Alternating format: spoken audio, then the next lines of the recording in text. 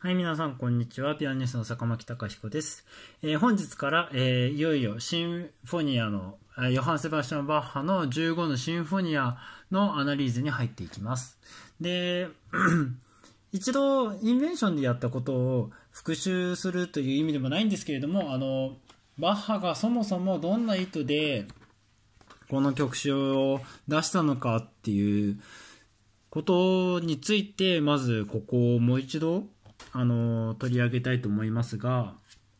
えー、クラビア奏法あこれウィーン限定版なんですけれどもクラビアの愛好家とりわけ、えー、学習希望者が、えー、2声部2声部をきれいに演奏するだけでなくさらに上達しないならば、えー、したならば3声部を正しくその そして上手に処理しそれと同時に、ここからが大切ですね。それと同時に優れた学装、インベンションを身につけて、えー、それも、それを巧みに展開すること。巧みに展開すること。そしてとりわけカンタービレの奏法を取得し、習得し、それとともに作曲の予備知識を得るための明瞭な方法を示す正しい手引きというふうになっています。すいません、読むのが下手で。えっと、まあ、今言いましたように、何が大事って、えー、そのセーブを正しくあの処理することと同時にそれそれにと同時に優れた学装優れた学装インベンションを身につけてしかもそれを巧みに展開することっていう部分がこのアナリーズっていうものにあのとても結びつく大事な要素かなというふうに僕は思っていて、で、シンフォニアって、シンフォニアの意味を調べるよりも、これもすごく大事な部分なんですけども、えー、 Sinfonien ってあの、ドイツ語でいいんですけども、それの、 dreistimmigen、dreistimmigen Inventionen っていうのが結局3つの声部のインベンションってことを言って、まあ、横に英語で3 part inventions って書いてるんですけど、まあ、同じ意味ですね。つまりはこれもシンフォニア、シンフォニアって言うけど、結局インベンションなんですね。ピントが合わない。あった。インベンションなんだって。3成分のインベンションなんだっていうふうに捉えて、この曲を見ていくと、また、あの、前回までやっていたことが生きてくると思うんですね。それで、まあ、そんな感じで、えっ、ー、と、バッとえっ、ー、と、あんまり長々と話すと結局何が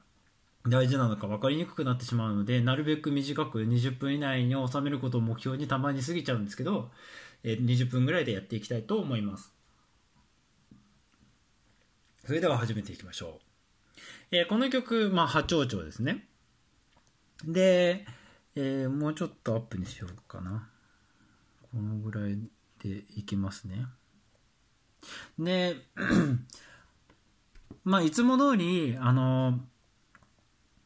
全体を割っていくっていうところから始めていった方がいいかなと思っていて、まあ、その中でも、とりあえず少しだけテーマを見ると、どのようなテーマがここ、まあ、学装ですね。学装がどのようにあるのかっていう。というのが、あの、一番大事になってくるかなという、あの、テーマテーマ、学装になってきます。で、これが、まあ、バッと見て、これってすごくあの、インベンションの一番とも、あの、似ていて、最初の学装が絶えず最後の最後まで、あの、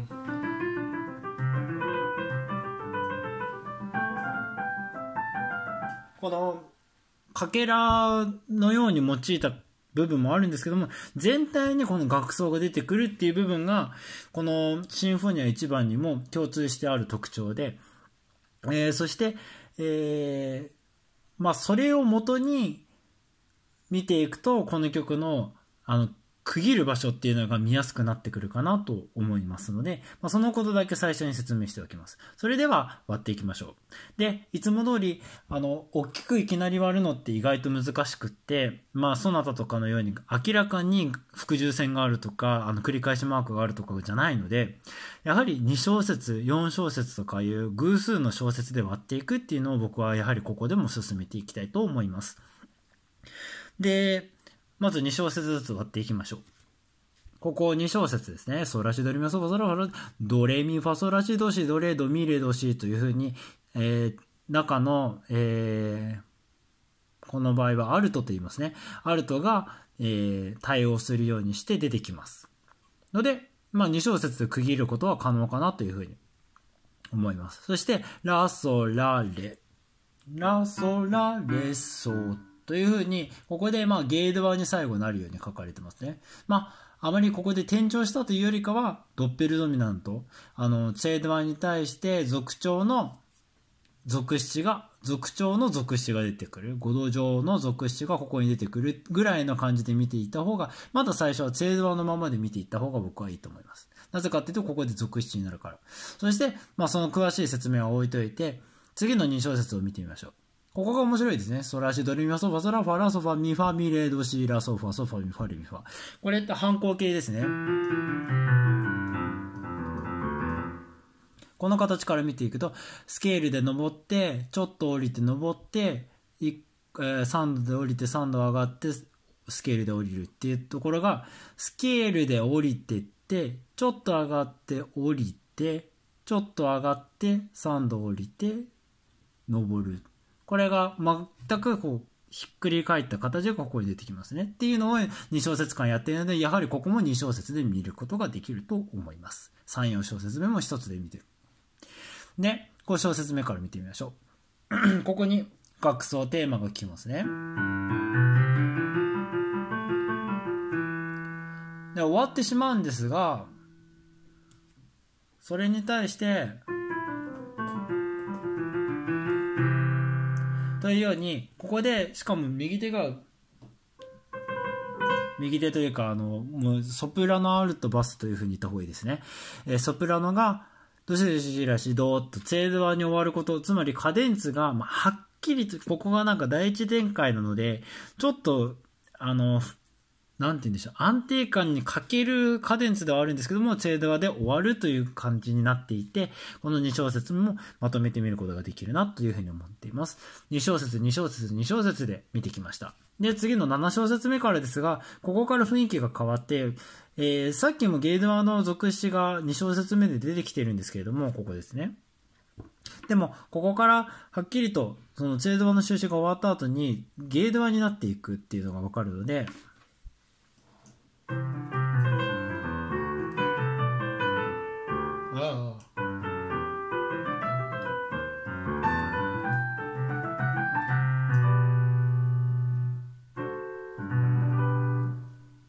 うにして、まあ、ゲード版になっていく。ここで、チェード版の音が出てくるんですけども、8小節目で。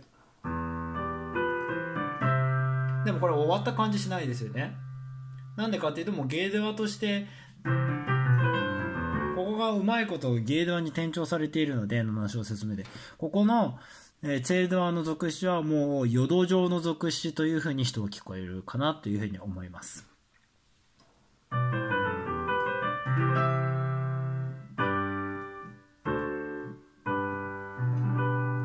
はり、ここはもうゲードバになっているなっていう部分なので、まあここで大きくもしかしたら後で割れるかもしれないっていうのをここで予告しておきます。まあ2小節間見てみましょう。で、ここで問題が発生します。まず、ここら辺の作り少しだけ見ていくと、ドレドシラソファミレ、ミレドシラソファミファミレドシラソというように、ここゼクエンツですね。これがドレドシラソファミレですけれども、これがドレドシラソファミレ、ミレドシラソファミ、ファミレドシラソというふうにやれば、もう完全なゼクエンツが、右手は違うんですけども、左手ではゼクエンツが始まっていて、まあ、ゼクエンツって基本的にバスで、あの、なっていくので、ドレミという風になっているのは、ここの、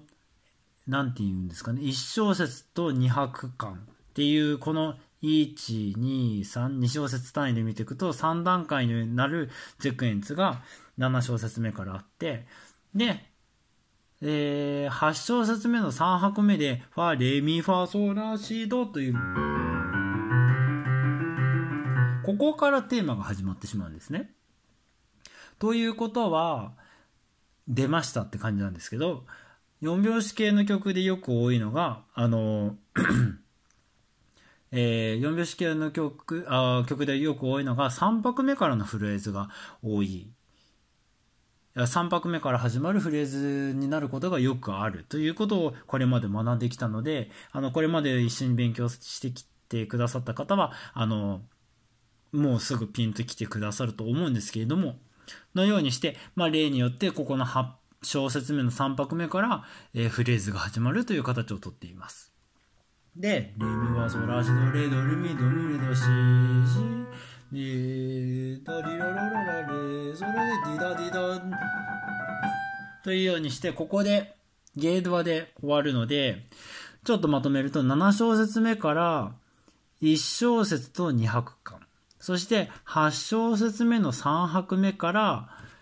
9小節目の2拍、あ、すいません。10小節目の2拍目まで。8小節目の3拍目から10小節目の2拍まで、2拍目までっていう2小節間になるんですけど、中途半端のところから始まってるので、この2小節間をまとめてみること。で、その後っていう風になります。ので、そのようにして分けることができるかなというふうに思います。で、ここが、まあ、後で言ってもいいんですけれども、8小節目のところ、8小節目の3拍目から見ていくと、これ、どっかで聞いたな、みたいなところなんですね。特にここら辺、10小節目の終わりなんか、あれどっかで聞いたな、みたいな。どこかっていうと、この5小節目、5、6小節目と同じことを、ほぼ同じことをゲードアで、え8小節目の3拍目からやっているっていうところがすごく特徴的で、あのまあ、ゼックエンツを7小節目から白算で、もう一回同じことをゲードアで言うっていう部分も、ちゃんと意識していた方がいいかなというふうに思います。そして決定的に違う部分がここ。義手詞で終わってしまうんですね10小節目の3拍目本当だったらじゃないやここに7小節目に対応せずここの10小節目の3拍目からは、えー、義手詞で終わるところから始まって、えー、また展開蝶が展開していく、まあ、もちろんその楽奏を使ってこのモチーフを使ってえ展開していくというふうになっています。じゃあ、ここの10小節の3拍目から、えー、見ていきましょう。どのようになっていくか。ここからがかなり複雑になっていきます。えっと、ソラソファミレドシラシラソラファソラシに対して、2拍で終わらせて、ここから、ソファミレドシラソラソファソミファソードというように、えー、楽奏と楽奏、まあ、テーマと言ってしまいましょう。えー、テーマとテーマが重なるようにして、えー、折り重なるようにして、まあ、ストレッタと言ってもいいのでしょうかね。のようにして、あの、切迫した状況に、えー、巻き込んでいかれます。で、調整を見ていても、ここがミーレード、まだゲードアなんですけども、その後、一瞬、チェードアの11小節目で、えー、チェードアの続詞を挟んで、F ドアの属詞挟んで、えー、12小節目でデーモになる。まあ、細かくあまり見るのが大変な方はそこら辺はまあ、腸が動いていくんだぐらいに思っていて、あの、大丈夫だと思うんですけれども、12小節目からは、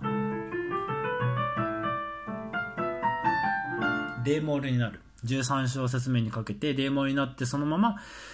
行くというふうになりますが、まあ、ここをどのように割ったらいいかってちょっと難しいんですけれども、やはりまあ13小、あ10小節目の3拍目からこう、見ていって、で、まあ、ここで13小節目の頭で終始するので、そこまで、えー、10小節目の3拍目から12小節目の終わりまでを一つのまとめ、2小節半ですね、をまとめていいかなというふうに僕は思っています。で、13小節目から見ていきましょう。えー、ここはデーモールからまた蝶がかなり展開していく場所で、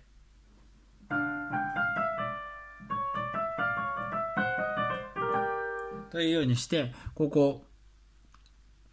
えー、まあ、細かく見るのが大変でも、ちょっと僕、あの、挟んでしまいますけど、口を。えー、デーモールで終わったところから、えー、淀状の属詞、つまりゲーモールの属詞が鳴って、ゲーモールで終わる。そしてそこからそのゲーモールの1度。今言ってるのは14小節目の頭ですね。ゲーモールの音が鳴りますが、これって F モールから見る2度なんですね。サブドミナント。として読み替えてここから F ドアになっていく、えー、今言ってるのは14小節目ですね。F ドアの音としてこのゲームオールの一度を見ていて。というふうに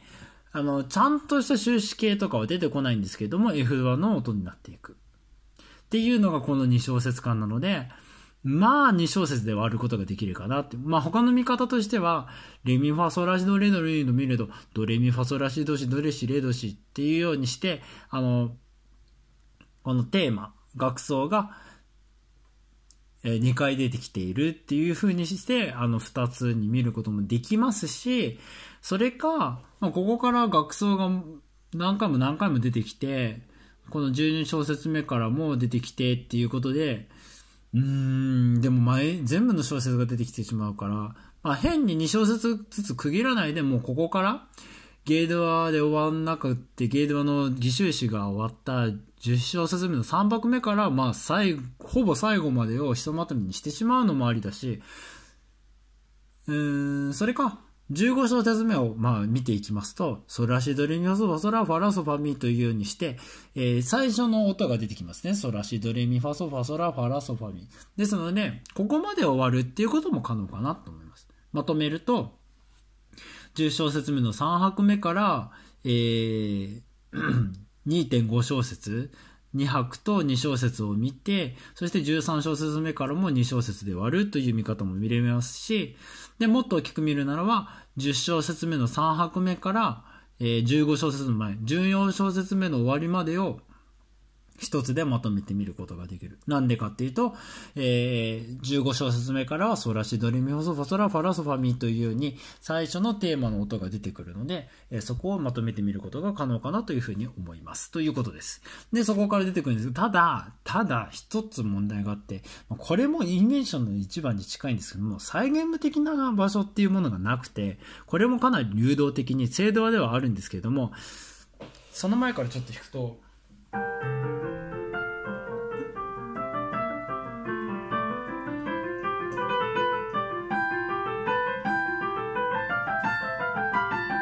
いうようにちょっと今間違えちゃったんですけど、えー、流動的にドレミファソラシドシドレシレドシソラシドレミファソファソラファラソファミファソラシドレミファミファソファラソファミというようにこのテーマが順々に展開されていくっていうその楽奏の展開バッハが言っているその楽奏が展開されていくことが重要であってここで戻ってきたみたいに弾くのはちょっとと違和感を感じるかなっていうふうに僕は感じています。後でもう一周した時に作りについてもお話しするので、そこでちょっともう一回見ていきましょう。で、ここから、ここは、うん、これもなんですけども、割ることもできるし割らないこともできるみたいなところで、どしらみれどしりみそばみれどる、ドファミファミレという、ちょっとリズムが変わったり、まあ、ここからソラシドレミファソファソラファラソファというテーマも出てきているので、まあ、最初の楽奏ですね、が出てきているので、あのー、まあ、ここでも割ることができるかな。19小節目から。そして終わりに行くというふうに見ることができると思います。そして、まあ、今、ざっくり言って、あの、できればメモなり、楽譜に書き込みなりしといていただきたいんですけれども、ね、僕がいつもここに南部南部南部って書いているんですけども、さっきも書いたんですけど、一回消しちゃって、なんでかっていうと、第1部、第2部、第3部見たく、本当にこれを見ていいのかっていう、今、さっきちょっと言ったことでもあるんですけども、インベンションの一番でも僕それやんなかったんですね。なんとなくここで大きく割ることができますね、ぐらいで見ていたので、うん。これは、まあ、終止形がありますよね。えー、どちらしど、えー、6小節目の終わりに、チェードワの終止形があって、7小節目に集結する。そして、えー、10小節目の2拍目でもファソ、ミファソというふうに、ゲードアで終わるっていう、ここが少しきっかけになる場所ではあるかなというふうには思うんですけども、まあ、まずは最初の6小節間。をひとまとめにすることは可能かと思います。その後は、7小節目から超、あ超というか、まあ、超ですね。超も展開していくし、その、動機労作と言いますけれども、その動機、最初に出てきたドリソラジドリムソファソラファラソファっていう動機を、えー、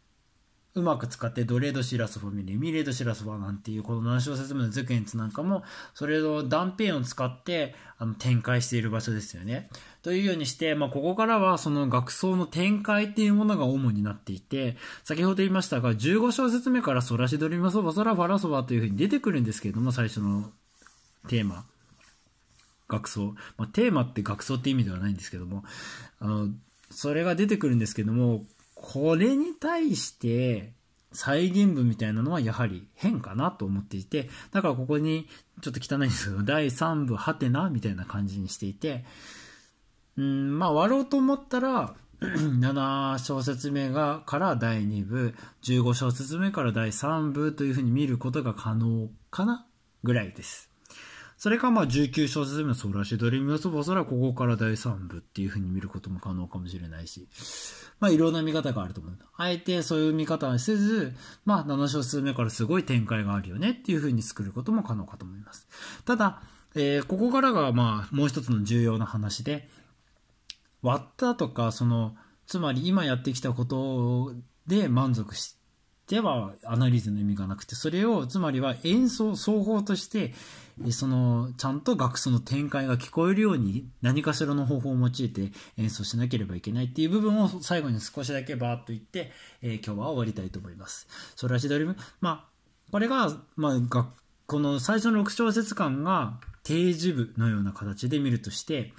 ソラシドリミソファソラファラソファにドリミファソラシドレシドレドミレドシというように、まあ、ここが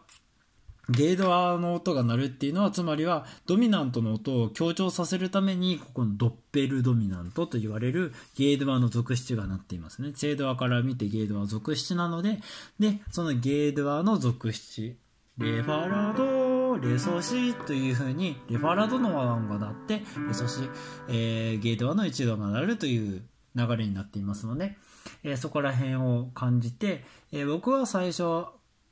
まあ、メゾフォルテかメゾピアノぐらいのある程度あの元気のある強弱で始めるといいかなというふうに思っていてそしてここであの、まあ、ここか、え2小節目の終わりでドッペルドミナント今説明したものがあるので少し広がった形をここで築くことができるかなというふうに思います。3小節目の後も少し広がった感覚を持っていいかなというふうに思っています。ね。ここで、まあ、この反抗形などを意識しながらえ、演奏していって、ただ、まあ、これ、インベーションの一番で言ったか忘れたんですけども、まあ、これまで見てきて、もうお分かりの方いらっしゃると思うんですけども、僕のポリシー的な、ポリシー的な変だな、ポリシーとしては、テーマを出せばいいみたいな、そういう演奏はあまり好きではなくて、これは好みの問題なんですけども、どちらかというと僕は、例えば参照説明なんかは、今、ここの反抗形を感じるといいですねって言ったんですけども、どちらかというと、このソファミーレミファレーソファミーミーレーっていうこのソプラノのメロディーがすごく綺麗だなと思っていて、そういったものを綺麗に歌う。そして、まあ、ここら辺もちょっとお話しすると、2世を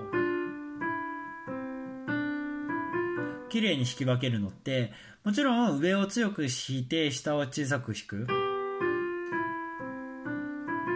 でもいいんですけども、それと伴うか、まあそれだけじゃなく、あの、アーティキュレーション、どのようにあのフレーズを区切っていくか、切るのか、で、どのようにつなげるかっていう部分で、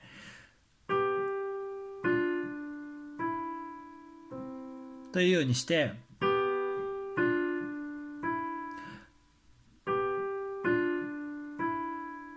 今僕がやってるのは、ソファ、ミというふうに切ってるんですね。で、下はシ、レ、ド。そうすると、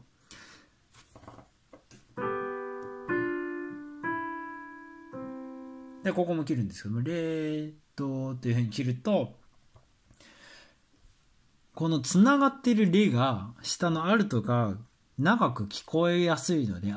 上が切れてるので、ソファ、にというふうにやってるので、あんまりやりすぎても変なんですけど、そのようにして、まあ、アーティキュレーションを、まあ、ここでは詳しくやってったら、それだけで3時間ぐらいになっちゃうので、あんまり言いませんけども、そのようにして、カンタービレ奏法っていう、あのバッハが最初に言っているものも考えつつ、えー、こういうのを演奏した方がいい。何が言いたいかっていうと、話を戻すと、ここのテーマばっかりに、えー、集中してここら辺をないがしろにせず、こういったところこそ、どのように歌ったらいいのか、どのようにアーティキュレーションをつけたらいいのかっていう部分を考えるのが、かなりポイントの一つ。そして、2世だったこと時はまだ左と右手だけだったので楽なんですけども、左手、あ、右手だけで2世を弾かなきゃいけないみたいなことはよくあって、シンフォニアだと。そうすると、やはりそういった部分まで意識を向けないと、えー、音楽作りがかなり難しくなってくるかなというふうに思います。ので、ぜひやってみてほしいなということで、今ちょっとだけ詳しくお話ししました。で、強弱の話に戻ります。で、ここら辺はちょっと広がったって言ってたんですけど、で、ここが5小節目でもう一回ソラシドレミファって出てきて、ソファゾラバラソファミーでここが伸びますね。一度の、一度の第一展開系のバスなんですね。このミーっていうのが。で、これが続くっていうのはなんかちょっと面白くって、普通補足音って、あのー、主音か属音どっちかなんですね。ツェドアで言うドかソ、どっちかなんですけども、ミーで続くと何かこう、安定するでもないし、だからといってこうなんかドミナントに前向きになるわけでもないし、なんか不思議な感覚がここあって、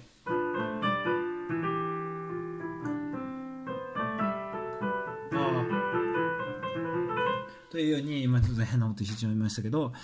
ちょっとなんかここで、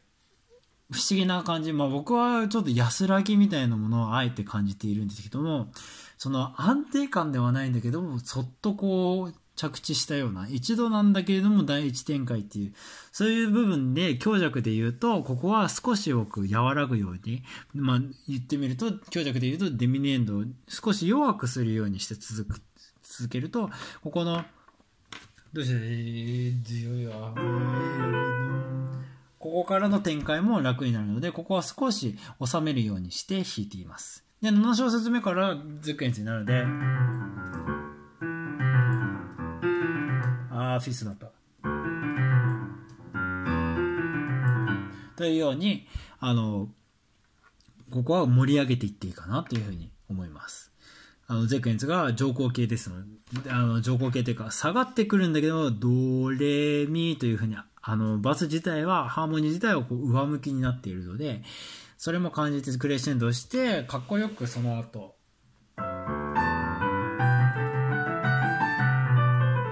ゲイドアではっきりと堂々と演奏するみたいなところがいいかなと思います。そしてここら辺はさっきと一緒ですね。まあ、あの 2, 2小節ずれているんですけれども、ここが第一旋回形でで優しく終わる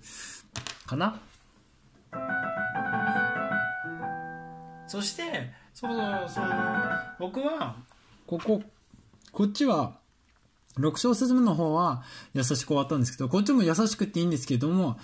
ある程度元気さを残しておいて強弱としてもフォルテぐらい残しておくと、ここの10小節目の3拍目の義手詞が、すごくあの、ここで一気に弾くと、ちょっとスビートっぽくピアノにしたりとかすると、あの、その、義手詞の感覚とか、その、ちょっと裏切られた感じみたいなのがうまく出せるかなというふうに思います。で、その、で、ここで小さくしとくと、後にもうまくつなげられて、えー、ソファあ、まずここでストレッタで、ラソファミーレド、ソファミーレドシラソというふうに畳みかけるように、ちょっとちっちゃいストレッタみたいなものが貼って、で、12小節目から、えー、ラロレ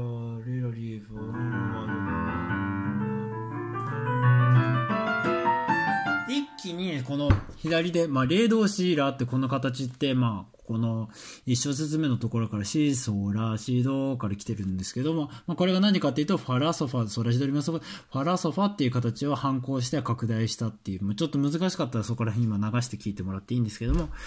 まあ、動機が使われていて、この動機を用いて、またストレッタっぽくして、ドレドシラシこのデーモールで一気にこう、かっ拡大していく、そして展開されて、そして一気に上皇系になっていくっていう部分は、僕はクレッシェンドで、あの、かなり強調するようにして、13小節目を迎えたいなというふうに思います。で、そこから僕は、これは本当に僕の感じ方なんですけども、ここで、ゲーモールになりますね。デーモールからゲーモールになるで、ここから、今変なことしてたな。ここで F ドアになっていきますよね。っていう蝶が展開されるんですけども、一個前の11小節目からの展開はかなりあの強烈なデーモールへ引きずり込まれていくようなイメージを僕は持つんですけども、ここの13小節目からここ、ま、まるで怒りだったとしたら、ここでゲーモール、つまりデーモールに対しての家族長ですので、少し何か和らぐような、怒りが悲しみに変わるようなイメージを持っていて、これは本当に僕の解釈なんですけどね。で、そこから F ドアに入ったことによって、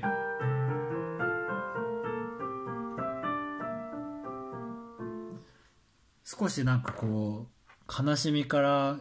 うん慰めと変わるみたいな。ちょっと今日おしゃべりの方でやった、昨日か、おしゃべりの方でやった、その聖書との関連みたいなことで簡単単を取り上げてるんですけど、そこにあった安らぎみたいな言葉もあって、そういうものも感じながら、そしてここで15小節目。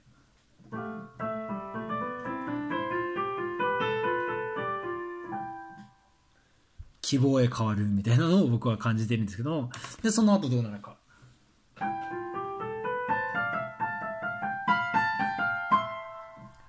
17小節目で一気にツェードワそして一気にツェードワっていうかこの最高音までたどり着くっていうその前からツェードワにはなってるんですけどもこのままどこに行っちゃうんだろうみたいな感じはまだあるんですよね。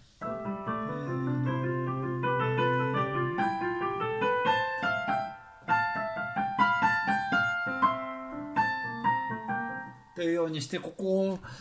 やっとなんかこう帰ってこれたみたいな感覚は17小節目にあるかなっていうふうに僕は感じていて、